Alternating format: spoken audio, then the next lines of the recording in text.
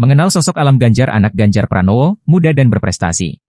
Pria bernama lengkap Muhammad Zinedin Alam Ganjar ini mencuri perhatian setelah sang ayah Ganjar Pranowo mendaftar sebagai calon presiden. Pria kelahiran Semarang, 14 Desember 2001 ini bukan hanya memiliki paras tampan, tetapi juga punya segudang prestasi.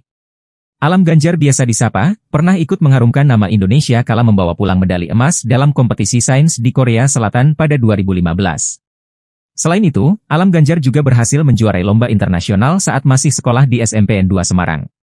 Alam Ganjar dan tim meraih juara tiga dalam ajang Junior Achievement, JEA, Asia Pacific Company of the Year Competition pada 2019.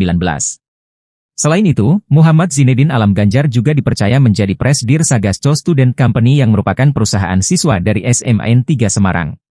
Di perusahaan tersebut, Muhammad Zinedin Alam Ganjar bekerja sama dengan kawan-kawannya untuk menciptakan produk lokal ECOS dan Winotes, alas kaki dan binder multifungsi buatan tangan yang berbahan dasar eceng gondok dan dipadukan dengan batik. Kreasi tersebut diikutkan lomba hingga tim Alam Ganjar meraih juara ketiga dan mendapat penghargaan The Best Financial Management Award. Soal kepribadian, Alam Ganjar yang kini kuliah di UGM jurusan teknologi industri tersebut, juga sosok anak yang sederhana serta dewasa. Ia sempat membuat Ganjar Pranowo menangis haru saat curhat harapannya ingin sang ayah punya waktu untuknya. Alam ia merupakan anak tunggal dari pasangan Ganjar Pranowo dan Siti Atiko Supriyanti. Selain prestasi di bidang akademik, Alam Ganjar juga jago bermain musik dan menguasai alat musik gitar.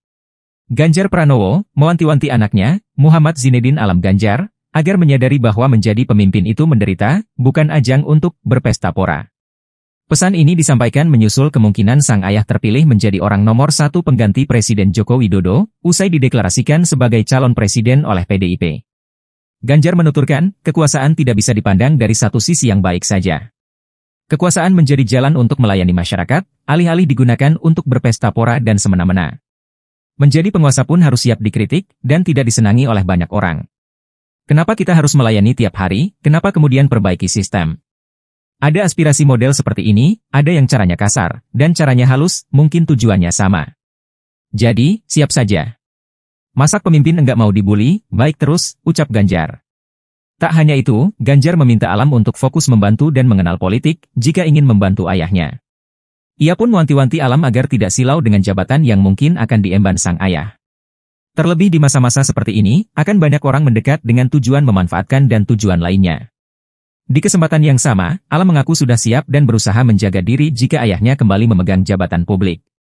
Ia pun mengaku kerap berkonsultasi dengan sang ayah, ketika berhadapan dengan beberapa hal yang menurutnya perlu nasihat. Terkait kekuasaan, ia memandang bahwa amanah yang akan diemban ayahnya bukan menjadi sarana pesta pora. Justru kata dia, kekuasaan berarti punya tanggung jawab besar untuk memenuhi hak-hak rakyat. Yang perlu kita sadari dari kekuasaan itu adalah bagaimana kekuasaan bisa mempengaruhi banyak orang. Punya tanggung jawab besar kepada masyarakat, itu yang harus kita fokus. Jangan yang lain-lain. Bagaimana bisa berikan dampak positif dari kekuasaan yang dimiliki, jelas alam. Download Tribun X sekarang. Menghadirkan lokal menjadi Indonesia. Download Tribun X sekarang. Menghadirkan lokal menjadi Indonesia.